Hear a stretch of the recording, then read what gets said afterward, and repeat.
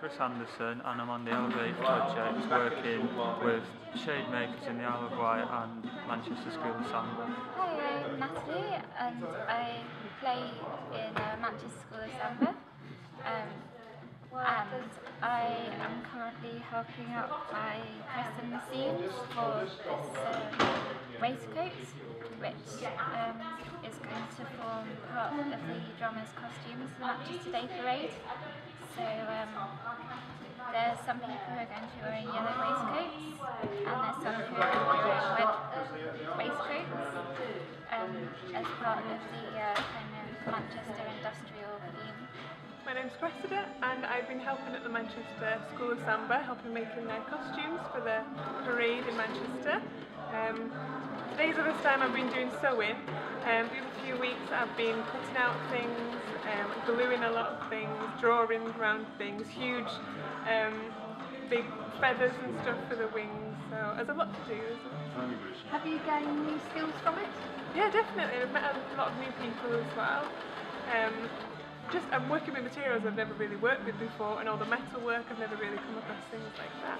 Um, and honing my sewing skills. I've got very basic sewing skills, so it's good to learn. and learn from experts as well. So no, it's good. Um, my name's Carl. I play the number one Surdo in Manchester School of Samba. I've been doing it for just under a year, so this is going to be my first Manchester Day Parade. So what, what um, are you working on at the moment? Uh, we just make Um, my name's Lorraine Taylor. Um, I am with the Manchester School of Samba and I'm helping with costumes for Manchester Day So my name's Lauren. Uh, I've been a dancer with the Manchester School of Samba for four years at least now.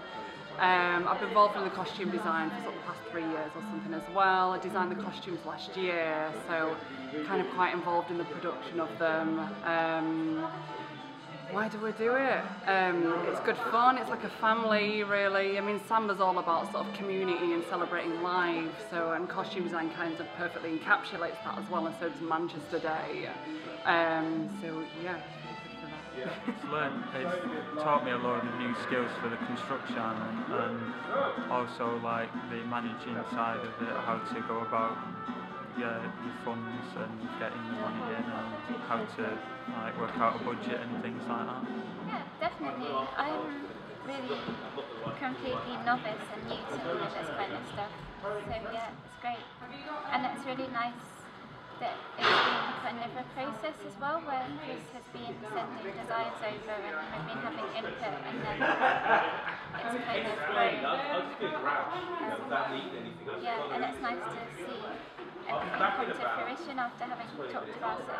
It's good to work in a really creative environment, and lots of people got lots of different ideas. It's very collaborative, I think. It's not just one person telling you exactly what to do. There's people giving their ideas, saying, "Oh, maybe we could do it this way," or "Oh, let's change the shape of the wings and things like that." And that's really that's good because then everyone feels part of it. So. Um, no, it's been really good actually to see their ideas and to kind of we met with Chris and with Paul as well, so it's been interesting to hear about their different kind of perspective on things and obviously to see this all starting to come together. It's uh, it's really good, yeah.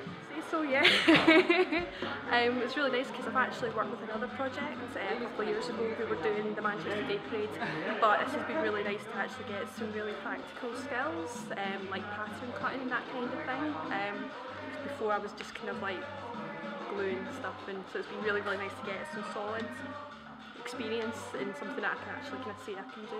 Um, We've only just started. I mean, I would say that um, I've definitely seen some more construction skills going on this year with regards to making the backpacks for the dancers. Um, it's been a little bit more guided this year because in previous years we've kind of had to guess off templates and that kind of thing. So that's something that's really come out of it. It's helped build our knowledge and sort of putting together these metal structures so that we've got more secure costumes that will last for longer in the future. Um, well, with the skills that I've learned over on the Isle of Wight with Paul, I've tried to then pass on to the members of the Samba group. So they're taking charge of the costume side of things. So I've shown them the backpacks and provided them, and they're now in the process of decorating them how they want for the parade. It's fun, and it is learning new skills as well. It's meeting new people, and it's just enjoying it. It's really good, and then it'll be really good to see it people performing in the outfits that you helped made. That'll be really, really exciting. Um, I suppose the samba band in general, it's kind of just it's nice to have something regular to do and come together with like-minded people. Um, and this kind of thing I've been really interested in, kind of learning these skills that go alongside it. Like I've always been playing music all my life, but in terms of kind of costume making and stuff like that, carnival arts is all quite new. So it's yeah. sewing, stitch, whatever. Um, but my main reason for kind of being here was that I really enjoy being a part of music and dance, and because I couldn't be a, really be a part of that so actively, it's nice to be able to have some skills where I can still be a part of it without being inside it. If that makes sense. that mean? Um, well, I guess our whole year kind of revolves around the Manchester Day, so it's kind of like a, a pinpoint. It motivates us to make these new costumes, to go out in the community, to find people to work with, and to pass on our skills, and to build it ourselves as well. And I guess we would kind of do that outside of it anyway, but Manchester Day kind of gives us a little bit of a focal point and something to strive towards, so it really helps us in that.